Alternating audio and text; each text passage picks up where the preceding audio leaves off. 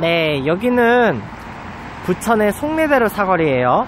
이 사거리 바로 옆에는 이제 부천 육화 백화점이 있고요. 그리고 이제 사실 이 옆에 있는 위치는요. 이제 부천 터미널 소풍 부천에 그 종합 버스 터미널이 있어요.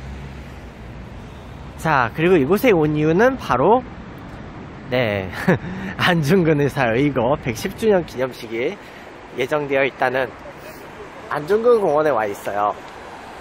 자, 원래 이 공원의 이름은요, 그, 부, 그냥 부천에, 그냥 중동공원이었어요. 이 부천의 중동공원이었는데, 지금 몇 년 전에 여기가 안중근 공원으로 바뀌었어요. 근데 이제 안중근 공원으로 바뀐 이유가, 이제 원래 그 경기도 부천시하고 중국의 그 하얼빈시하고 자매 결혼을 맺은 도시였대. 그래서 이 자매 결혼을 맺은 그 하얼빈에서 약간 그 안중근 장군의 그 동상을 보내줬다고 해요. 그래가지고 그래가지고 여기가 그 하얼빈의 도움으로 안중근 공원이 됐다. 뭐 그런 얘기가 됐어요. 그래서 여기 단지동맹 취지문도 있고 그리고 각종 조국을 떠나면서 남긴 글. 네. 솔직히 근데 여기는 모르겠어요. 글씨가 좀 색인 게 좀 많이 어둡게 보이네요. 아무래도 여기서 사실 플래시를 써서 찍을 수 있기는 하는데 그러면 중간에 글씨가 안 보여요. 자, 세상에 의리 없는 글씨는 되지 말라고. 그리고 장부가 장부로서 불러야 될 노래. 난 남자다. 뭐 이런 게 되겠고. 그리고 이제 그 손가락 끄는 그 손바닥 사진이 몇 개 나올 거고요. 그 자.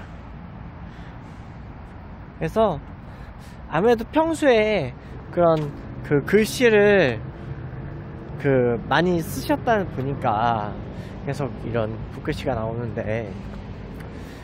근데 너무 한자만 많이 썼어.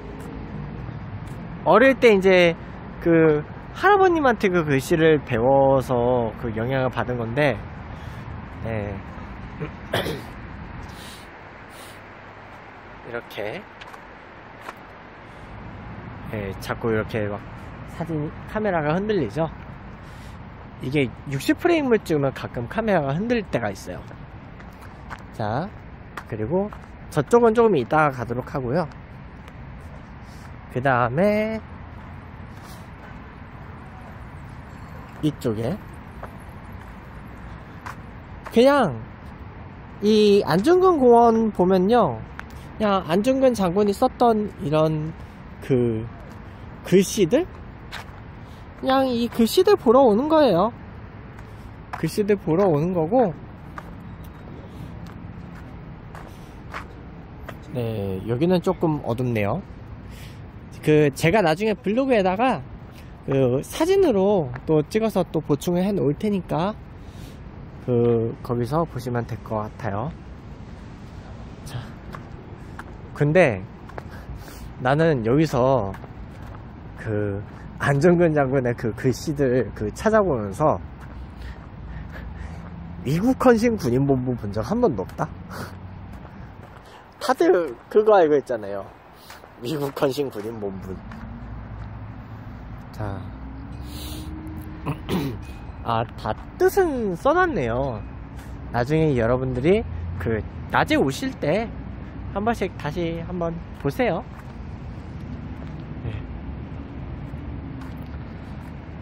저는 이렇게 지나면서 조금씩 보여드리고 있으니까.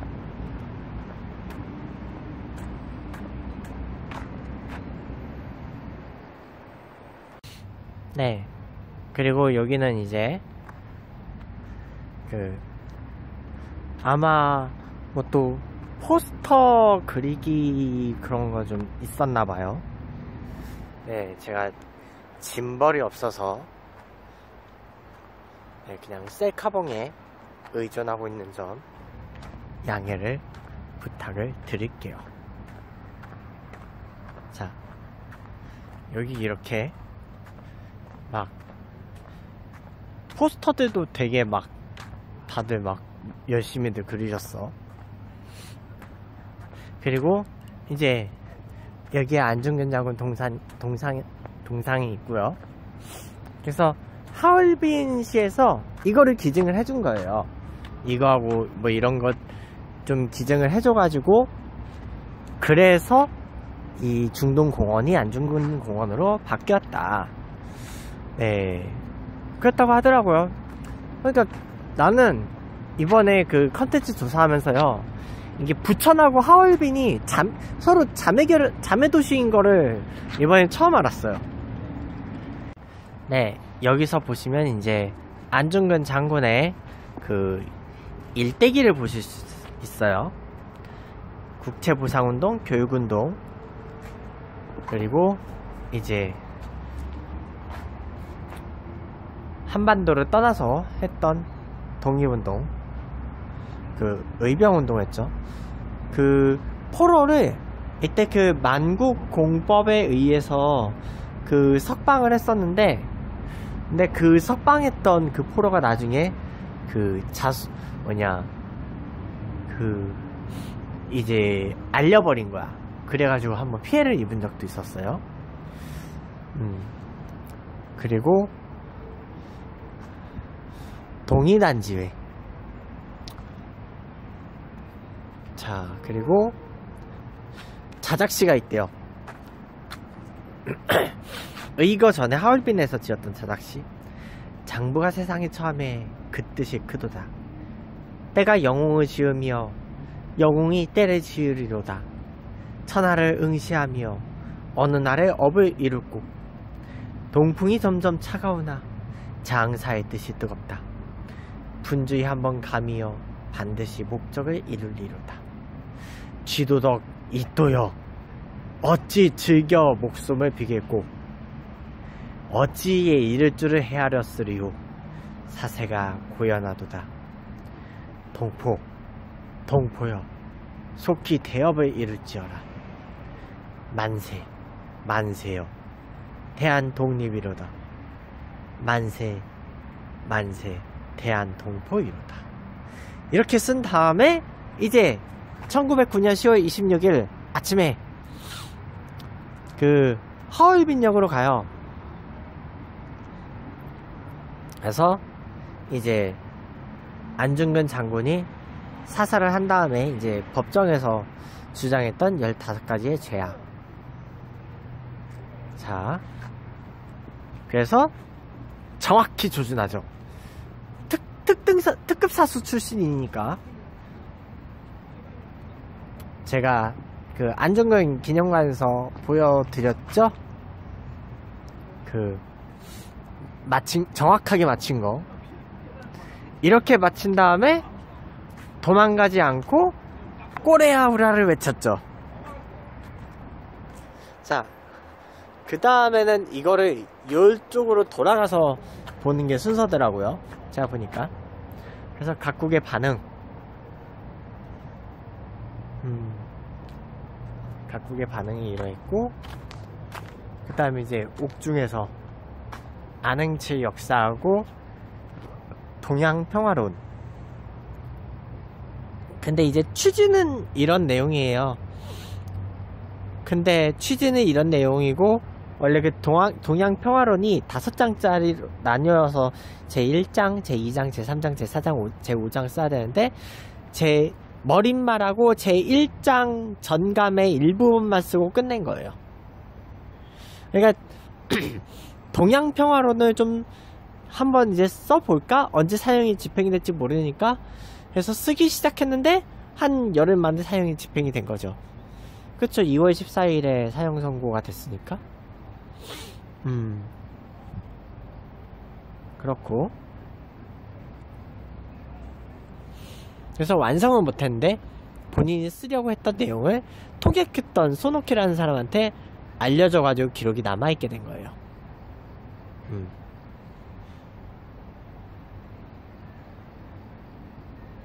여순을 중립지대로 만들고 각국에서 정부 대표를 보내서 아시아 평화를 위한 위원회를 만들자. 로마 교황청이 참가함으로써 음, 아무래도 가톨릭 신자니까 이런 생각이 나왔겠죠.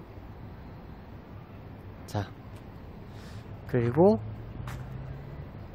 법정 투쟁. 1910년 2월 14일에 사용온도 독립전쟁으로서 그러니까 전쟁이 작전을 수행한 거예요. 교전을 한 거예요.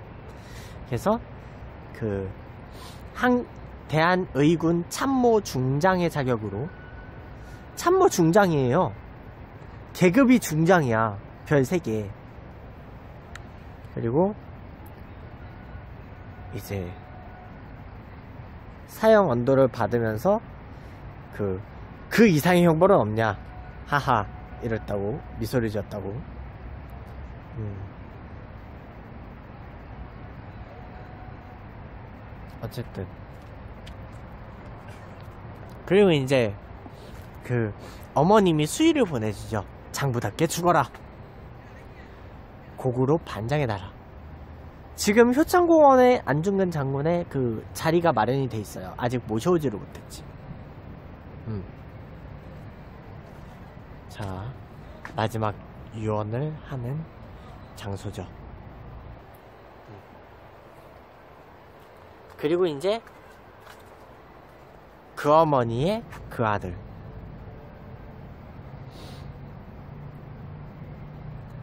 그리고 수의까지 만들어서. 그래서 이 수의를 입고 사용이 집행이 되죠. 음. 수의를 입고. 그리고 이제 부천에서 이걸 만들었어요.